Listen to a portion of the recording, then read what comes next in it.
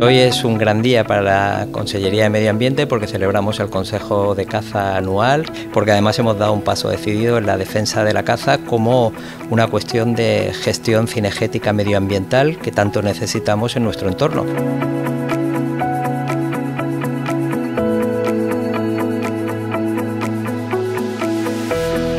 Es un auténtico honor el poder presidir de nuevo este Consejo Valenciano de Caza y vuelvo además eh, con el diálogo, con el trabajo permanente con la Federación Valenciana de Caza, con su presidenta Lorena a la cabeza, a quien agradezco inmensamente ese trabajo que llevan a cabo por un sector que es fundamental en la comunidad valenciana. Yo siempre digo que para la comunidad valenciana es fundamental la gestión cinegética, la gestión de nuestros montes, la gestión de nuestros espacios espacios naturales por parte de los cazadores.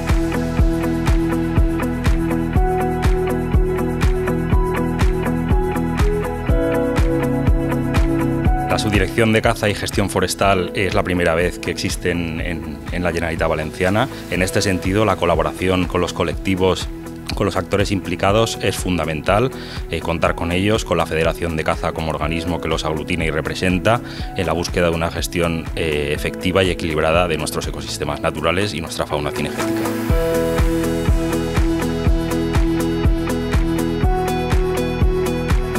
Me consta que la Federación de Caza está haciendo una muy buena labor en, todo lo que sería ayudar y a proteger el entorno y el medio ambiente. Y la verdad es que celebrar estos consejos donde además se, está proponiendo nuevas medidas que no solo van para el jabalí sino también para otras especies y que podamos controlarlas y, asimismo mejorar las circunstancias de nuestras comarcas.